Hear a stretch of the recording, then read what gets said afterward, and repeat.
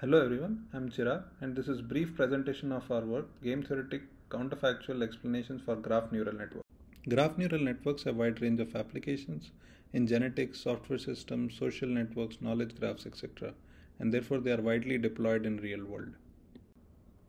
Despite their popularity, GNNs are perceived as black box models which require better explanations for real world deployment. In this work, we consider counterfactual explanations that aim to identify input modifications to change the output.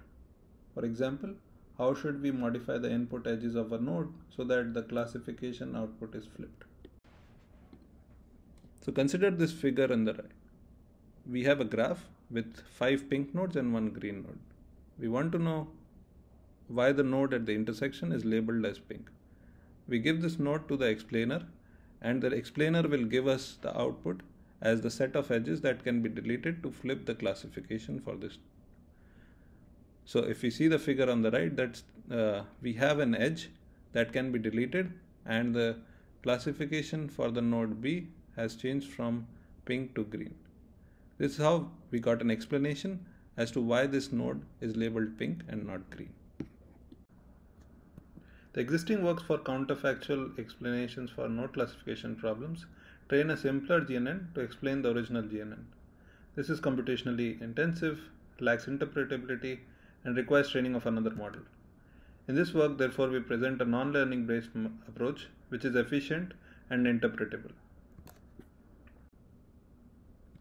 We treat this problem as a cooperative game between set of edges E connected to a node N1. Each edge i connected to the node is considered as a player and then we compute the marginal contributions of i in different subsets S. The value Vs is the drop in the probability of class C caused by deletion of set of edges S from the node N1. Then we use the band Banzhaf index, which is a popular concept from cooperative game theory, to calculate the contribution of each edge in flipping the classification. To improve Banzhaf index, we introduce thresholding, where we discard some of the coalitions which don't contribute much to the probability drop of the current class C. In our analysis, we show that Banzhaf value is computationally better alternative to Shapley value, despite the popularity of latter.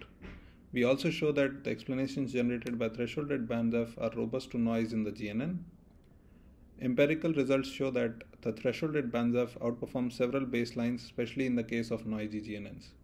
For more details, check out our paper. Thank you.